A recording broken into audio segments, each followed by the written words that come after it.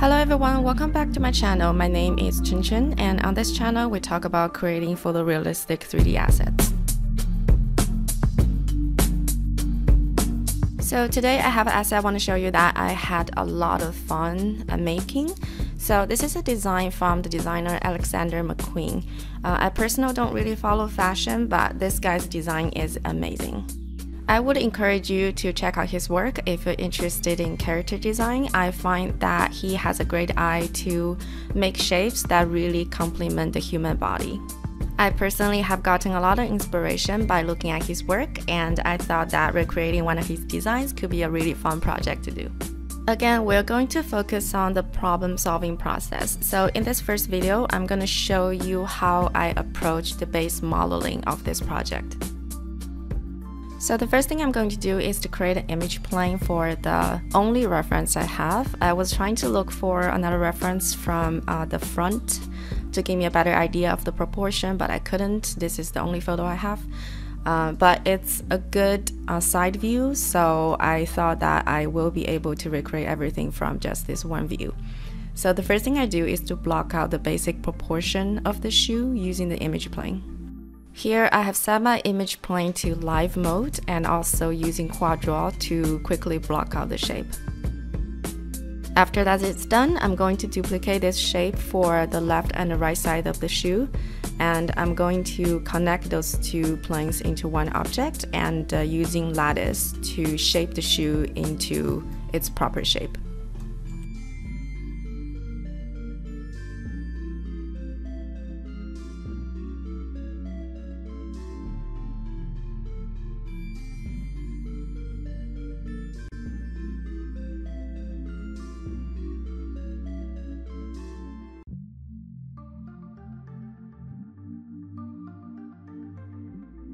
For right now, I'm going to keep the left side and the right side symmetrical.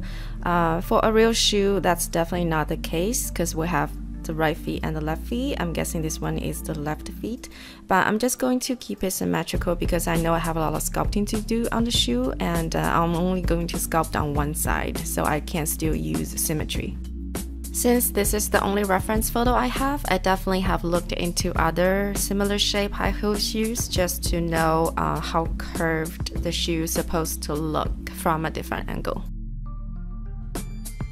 After connecting the center of the shoe, I'm bringing it into ZBrush for further adjustments of the proportion. Like I mentioned in other videos, I find this is way faster than just keep pulling points inside of Maya.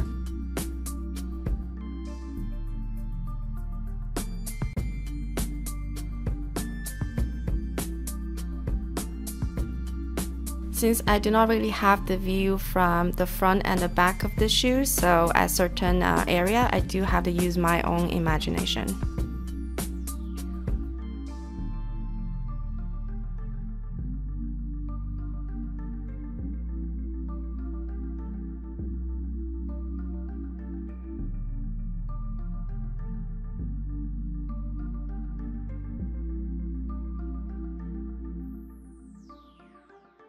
After I'm happy with the general proportion of the shoe, I'm going to use curves to build out where the leather straps are.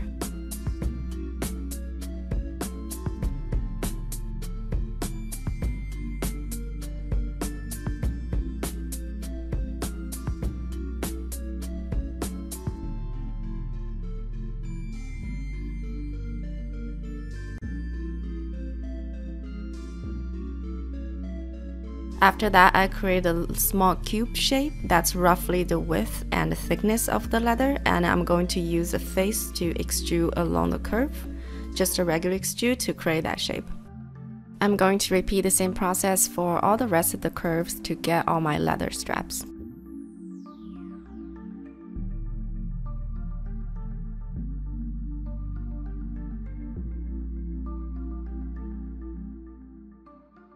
For the circular area, I'm going to adjust the curve before I extrude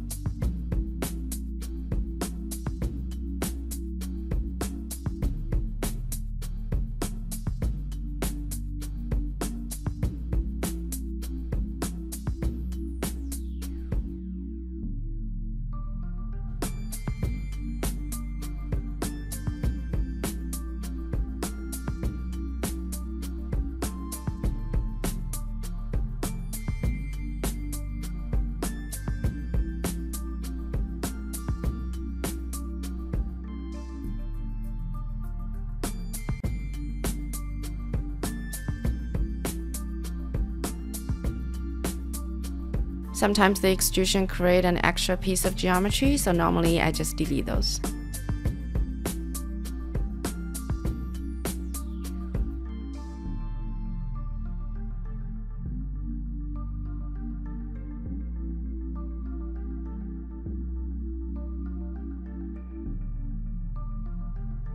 After finishing the straps, I'm going to create a simple plane and just start to blocking out the shape of the kind of wing looking thing in front of the shoe.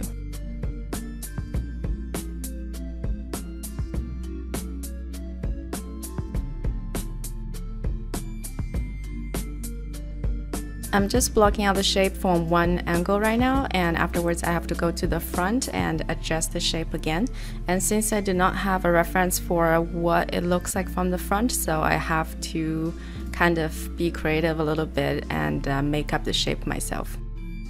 I ended up changing the shape quite a bit and uh, give it a very broad outline because uh, my current plan is to actually make this geometry live that has a general curve that I want and actually I'm going to draw those uh, specific uh, kind of feather shape uh, geometry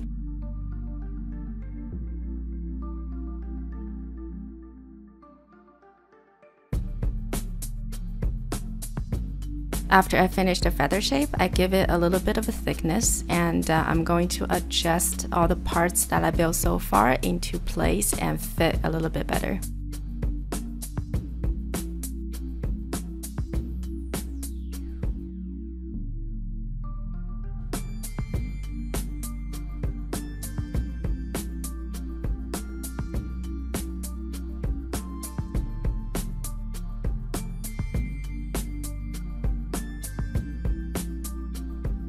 So after I'm happy with that, the next thing I'm going to model is all the sewing patterns on this feather shape. That's probably one of the more puzzling piece of uh, the modeling because I consider using displacement for those things, but I just don't think I could have gotten that kind of effect because those um, sewing pieces looks more like it's sitting on top of something. Um, I not I wasn't sure if I were able to use displacement to create that effect and uh, I'm not sure how much work that is going to be.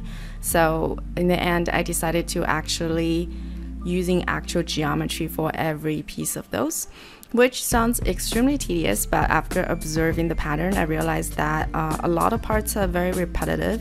So I figured if I just build out one part, I can just duplicate them and placing, placing them around. I feel like in the end, it might be less work than uh, making displacement map for those, and uh, it could look better in the end too. Now I have one group shape that ready to be placed, but I need to do one more thing before I start to placing those patterns. I'm going to give this feather shape a quick UV pass and I'm going to bring it into Mari and I'm going to project a photo on top so I have a good idea of how everything is laid out so I won't completely rely on my eye comparing the reference. For this projection, it's mostly for guiding purposes, so it does not have to be perfect. I'm just going to do it really quick.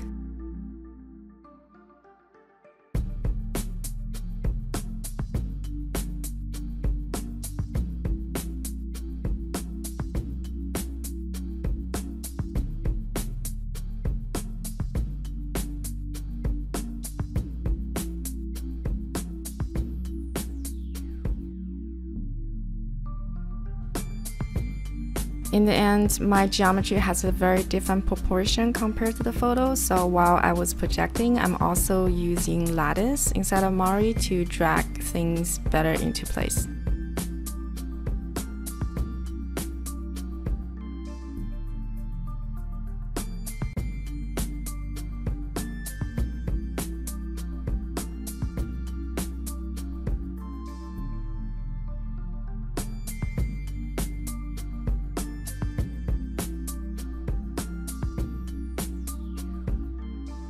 Now I have a really great guy inside of Maya. I'm just gonna start to work on placing everything into its proper place.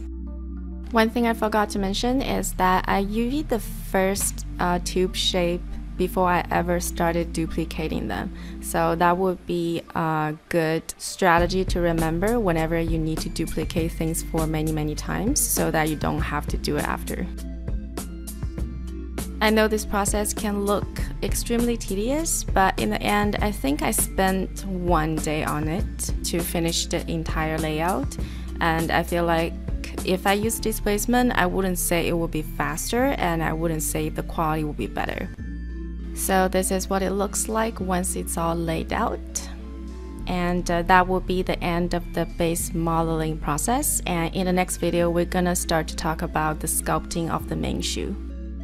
I hope you enjoyed this video and if you did, please like the video and subscribe to my channel and I will see you in the next one.